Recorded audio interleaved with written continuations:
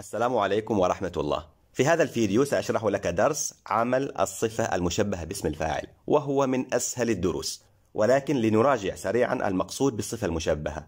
الصفة المشبهة باسم الفاعل هي وصف مشتق يدل على من قام بالحدث على وجه الثبوت وتأتي على أوزان مخصوصة من أهمها أفعل مثل أزرق أخضر أعرج أعور فعلان مثل عطشان ريان يقظان فعل مثل شرس نهم لبق. فعل مثل عذب سهل ضخم. فعيل مثل رشيق صغير مرير وغيرها. ماذا عن عملها؟ ماذا عن الإعراب؟ الإعراب سهل كما قلت في المقدمة. فلدينا في درس الصفة المشبهة إعرابان فقط. الأول ما بعد الصفة المشبهة يعرب فاعلا مرفوعا وذلك في حالتين. الحالة الأولى إذا كانت الصفة المشبهة منونة. سواء كان هذا التنوين بالضم أو الكسر أو الفتح لا يهم. المهم أن تكون الصفة المشبهة باسم الفاعل منونة. فنعرب ما بعدها فاعلا مرفوعا. مثال هذا الرجل بليغ قوله وذاك الرجل عذب حديثه. نلاحظ أن الصفة المشبهة بليغ عذب صفات مشبهة منونة. فالاسم الذي بعدها قوله حديثه ماذا نعربهما كما قلنا؟ فاعل مرفوع وعلامة رفعه الضمة الظاهرة على آخره. ونلاحظ أن الاسم الذي بعدهما قوله حديثه فيه ضمير يعود على الصفة المشبهة.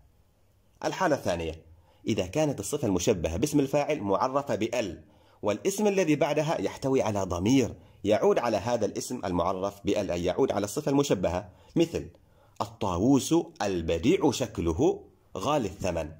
شكله هنا أيضا نعربها فاعل مرفوع. لماذا؟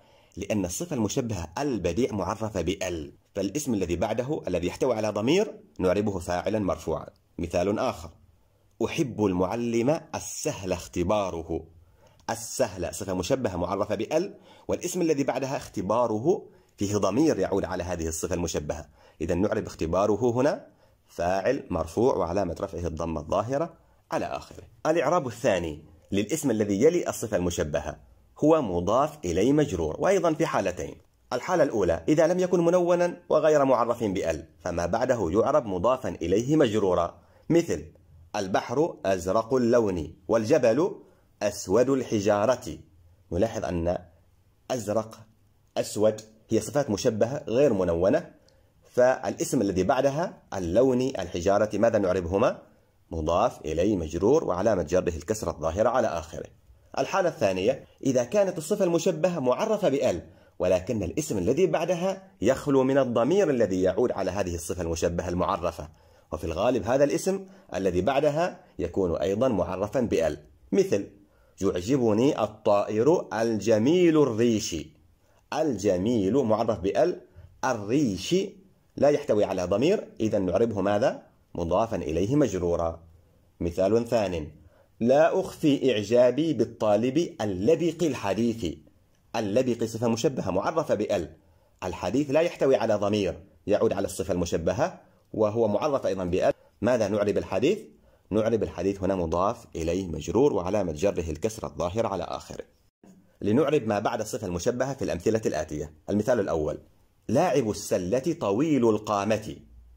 طويل القامة. طويل صفة مشبهة باسم الفاعل غير منونة.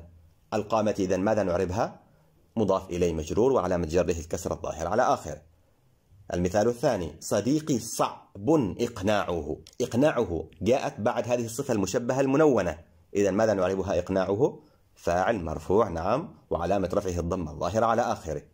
المثال الثالث لا أرتاح للصاحب القلقة نفسه. القلقة نفسه.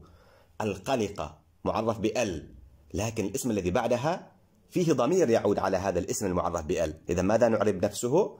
نعم فاعل مرفوع وعلامة رفعه الضمة الظاهرة على آخره. المثال الرابع والأخير السليم القلب محبوب عند الناس. السليم صفة مشبهة باسم الفاعل معرفة بأل. القلب لا تحتوي على ضمير يعود على الصفة المشبهة وأيضا معرفة بأل. ماذا نعرب القلب؟ نعم نعربها مضافا إليه مجرورا وعلامة جرها الكسرة الظاهرة على آخره. هذا هو الدرس باختصار. بارك الله فيكم. والسلام عليكم ورحمة الله وبركاته.